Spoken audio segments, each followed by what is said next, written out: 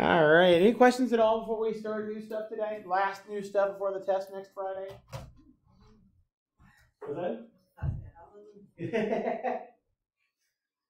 and we're gonna uh, this one we're gonna talk about today and on Monday. So we'll see more of the same on Monday. Wednesday we'll have a review for the test. And then that will be Friday. all right. So today we're going to talk about solving equations that involve radicals.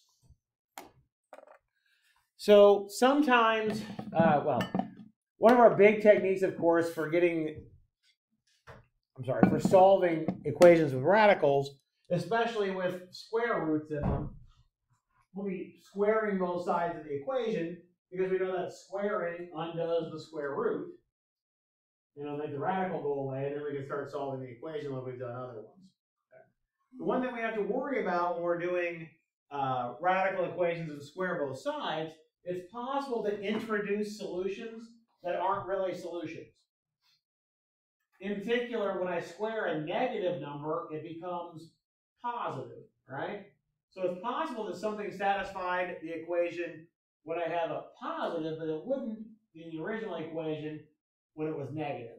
So anytime that we do uh, a radical equation and we square both sides, we're going to have to check our answers at the end to make sure they actually work. Okay? If it's a solution that we find that doesn't work, we refer to those as extraneous.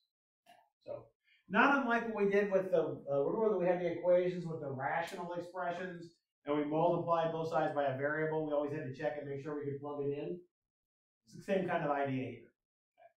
Basically, check your answers when you're done. Make sure that makes sense. Okay. All right. So let's talk about our general technique for solving radical equations. So notice it says the first step will be will be to isolate one of the radicals.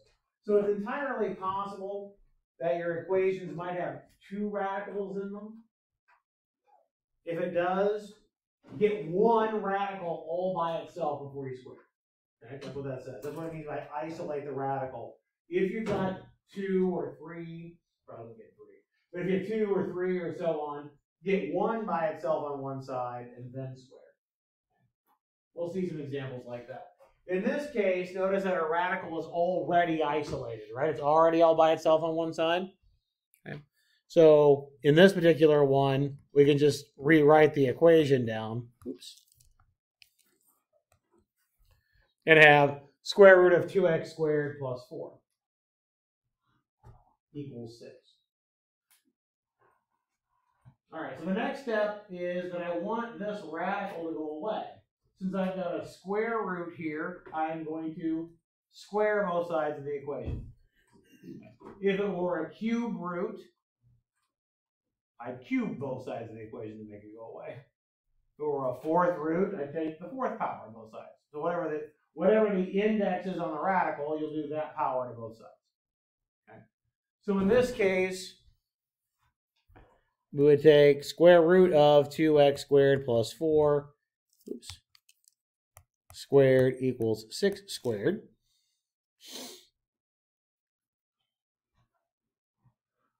And again, the reason why we square is because that makes the radical go away on the left-hand side.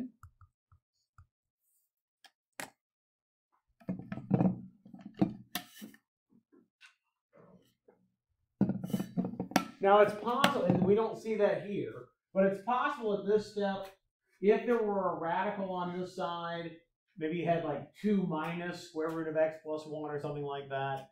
If you have a radical on this side, it's possible when you square it, there's still a radical left over. So then you would repeat these steps, isolate the radical, square again. We're going to see examples of like that later. Okay. Right now, there aren't any radicals left. Okay. All right. So let's see if we can solve this equation now. If we solve, we can Subtract the 4 to the other side. So we get 2x squared equals 32. Divide both sides by 2 in this case. We'll have x squared equals 4. I want to get x by itself to get rid of the square. What will we do to both sides? Or is it another way? We could also we could say so. Let's go ahead. Oh, it is 16. Sorry. I was thinking about what the answer is going to be at the end. Sorry. All right. Sorry about that. You're right. It is 16. Thank you.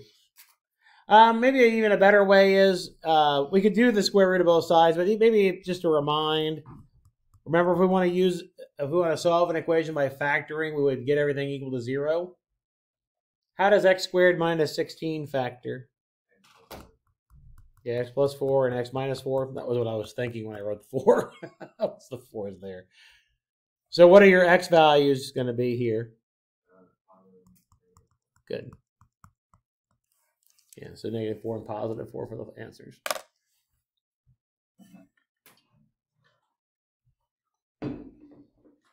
Notice that once we got rid of the radicals, we solved this equation just like we did every other equation, right?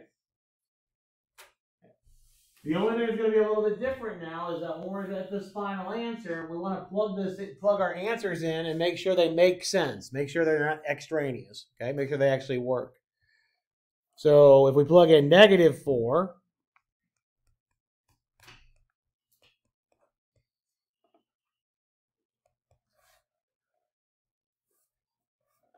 Well, negative 4 squared is 16 times 2. I'll just write it that way. Then 2 times 16 is 32 plus 4 really does give me 36.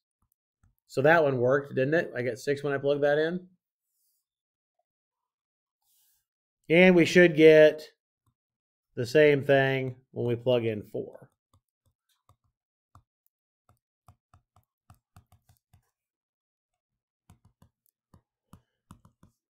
So that one checked as well.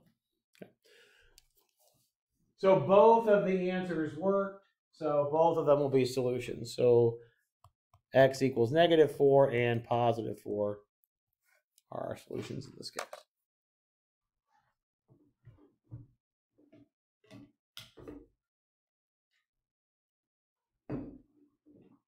But again, the last step again is important.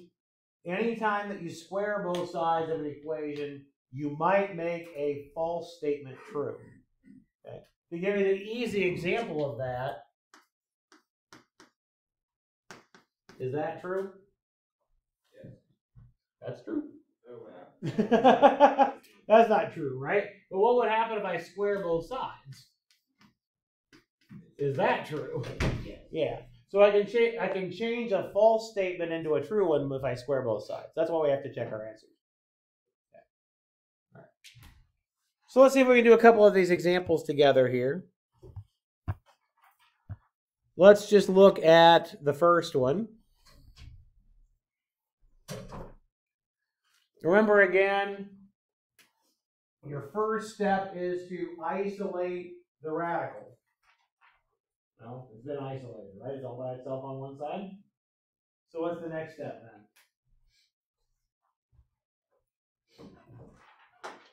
Once we isolate the radical, what's the next step? Square both sides. The whole reason why we isolate the radical is so that when we square both sides, that radical that's been isolated goes away. Right? That's the whole point of doing that. The reason why we isolate the radical is so that when we square both sides, that radical in particular goes away. Okay? What do you get when you square the left-hand side? Yep, just the x plus 7. On the right-hand side, what do you get when you square? Mm, mm, gotta be careful.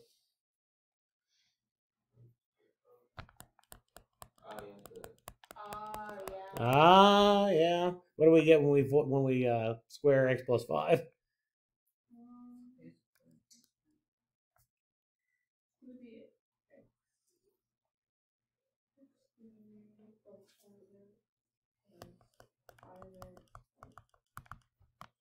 Right, I got a FOIL, don't I?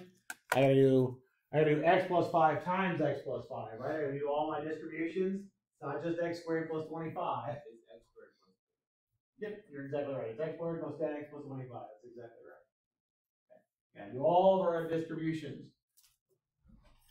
So we've got x plus 7 equals x squared plus 10x plus 25. Oops.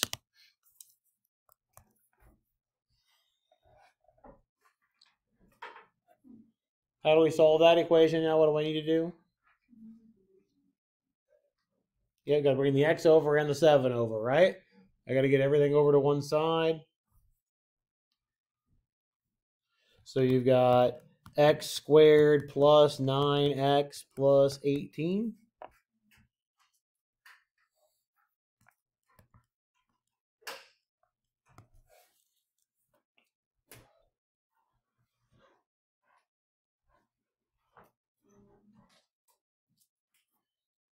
Because again, the reason why we set it equal to zero now is we'll factor it and set each piece equal to zero.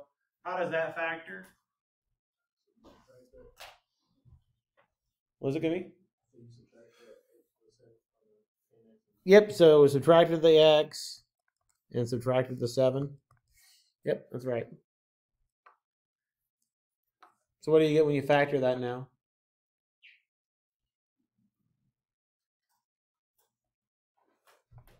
Oh, it's just, it's gonna be X, Plus, uh, yeah, X plus three. Good. x plus 6 and x plus 3? Yep.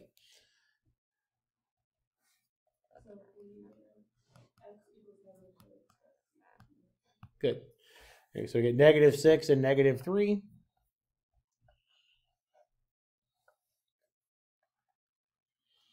Is that the final answer?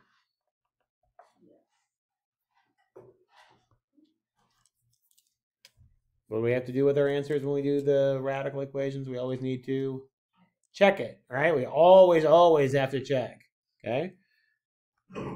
If you use x equals negative 6, you've got negative 6 plus 7. Is that equal to negative 6 plus 5? no. Because we get square root of 1. Is that equal to negative 1? Square root of 1 is 1. Okay. So negative 6 is not a solution. It doesn't work. How about negative 3? Does it work? Yeah. Yeah, so we'll have square root of negative 3 plus 7. Is that the same thing as negative 3 plus 5?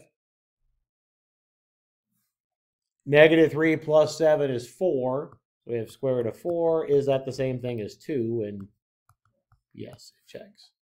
So this one doesn't work.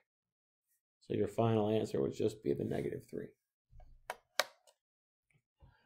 Again, always, always, always, always check your answer in these radical equations every single time. And again, the reason for that is you can make a false statement into a true one. Notice that when you put in negative 6 in for x, it creates a false statement, right? But what would have happened if I would have squared? Well, then it's a true statement. Right? This is what we have to check. Squaring both sides can always can uh, that can always it can change a, a false statement into a true one. So we always have to check. Right. Work on number two for a minute. And we'll chat about it. We'll do three together. So work on number two for a minute, and we'll do three together here in a minute as well. Can we go back to the conclusion? Yeah.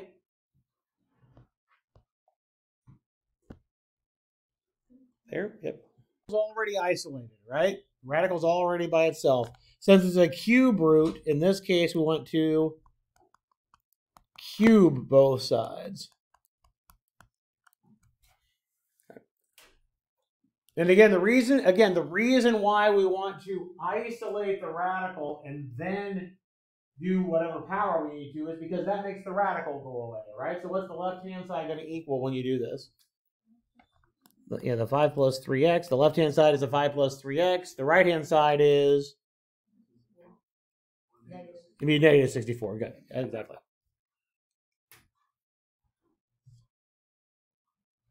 Then what do we do?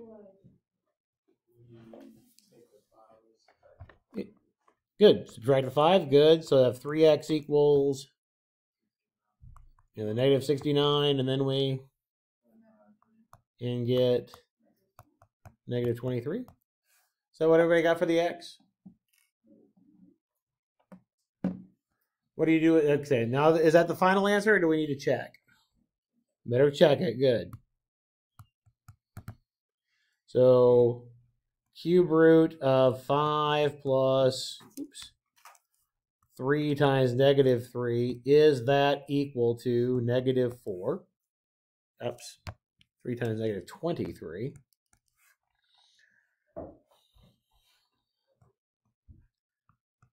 Three times negative 23 gives you negative 69. 5 minus 69 is negative 64. And what is the cube root of negative 64? That would be a negative 4, yeah. Oops. And so it does check. Remember when you do the cube root of the negative, it stays negative, and then cube root of 64 is 4 in this case.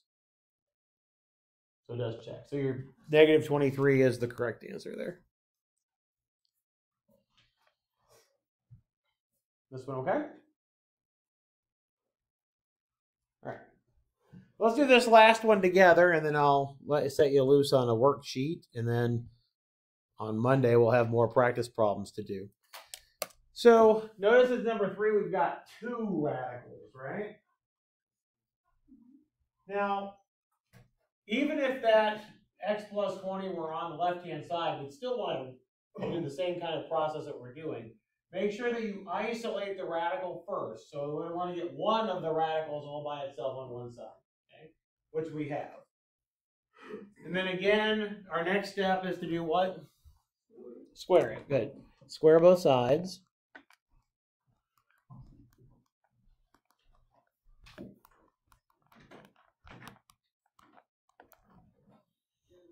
Okay. So notice again, just like, yes. So is the minus three under the radical? or is that- Yeah. No, the minus three is not under the radical. Yeah, yeah it makes a difference, doesn't it? yeah. Okay. Yeah, minus three is not under the radical. So notice when you square this, I'll do this off to the side. You're going to have to do something similar to what we did earlier with that example. Oops. Uh, when we had x plus 5 squared. We had the FOIL, didn't we? Yeah. So we're going to do the same thing here. When you multiply, this is why I'm doing it off to the side. When you take square root of x plus 20 and multiply it by a square root of x plus 20, what do you get? Just the x plus 20, right? Then I got to take the x plus 20, square root of x plus 20, and multiply it by negative 3. What do we get there? Negative 3 times square root of that. Good. And then I got to do the same thing with the negative 3, right? I got to do negative 3 times the square root of x plus 20. So we get another one. And then I got to do the negative 3 times the negative 3 gives you what? Positive 9. Don't forget we have to FOIL, right? We have to do all of our distributions. So I got to do the square root of x plus 20 times both pieces, and I got to do the minus 3 times both pieces. So the Yeah. under the radical is one group. It's one group. Yep. Yep. Okay. So let's go back to our equation now. What's the left hand of the side of the equation equal to? X plus 5? What's the right hand side of the equation equal to? X plus Plus two. Yep. minus six square root of x. Good.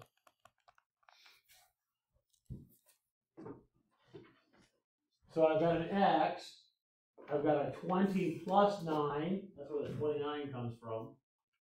And we've got minus three times that radical and a minus three times the same radical, so that's why it's minus six times the square root of x plus one. Notice that we still have a radical left, don't we? But it's better than what we started with because how many radicals did we start with? Two. Now we have one. Yeah. So now do this is what the note said about repeat steps one and two until you're out of radicals, right? Move- The next step is isolate the radical.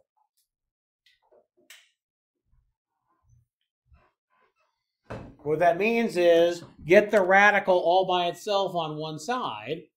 Well, to do that, I can subtract x from both sides, subtract 29 from both sides.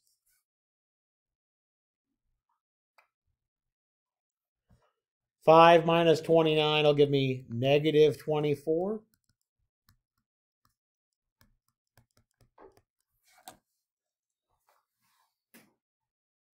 So we have negative 24 equals negative 6 times x plus 20. You could divide by the negative 6. It's not necessary, though. We've got the radical isolated. The whole point of getting it by itself is so that when you square it, it goes away. Okay? So we could square both sides at this point.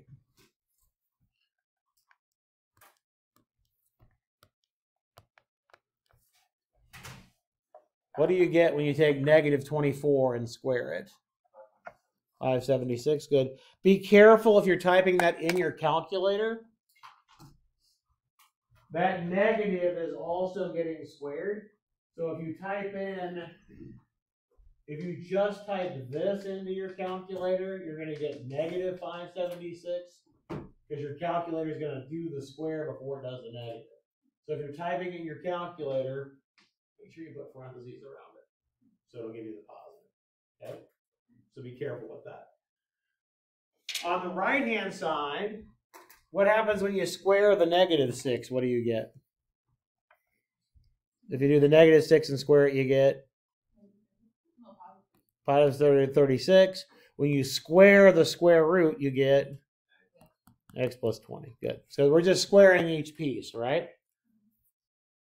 And this goes back to Maya's question earlier. That's a grouping thing, right? That's why I've got the parentheses around it. It really is grouped together. So far, so good? What do we do next? Distribute. Good.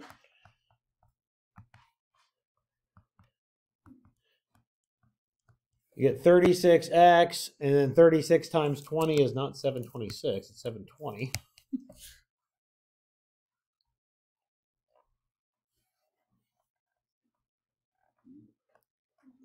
Subtract 720 from both sides.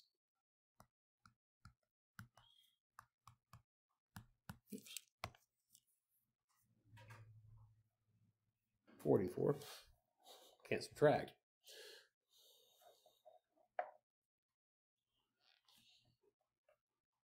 So we get negative 144 equals 36x. Divide by 36, we get x equals what? 4?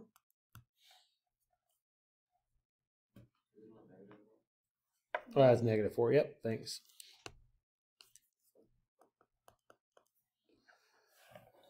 And then the last thing we need to do is yeah, plug it in and check, right? Always, always check your solutions.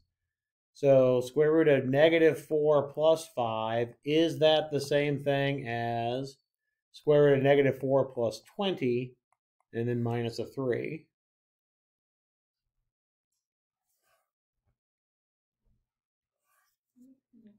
Is root 1 on the left-hand side? Is that the same thing as square root of 16 minus 3? It is, yeah. So we get 1 is equal to 1, which does check.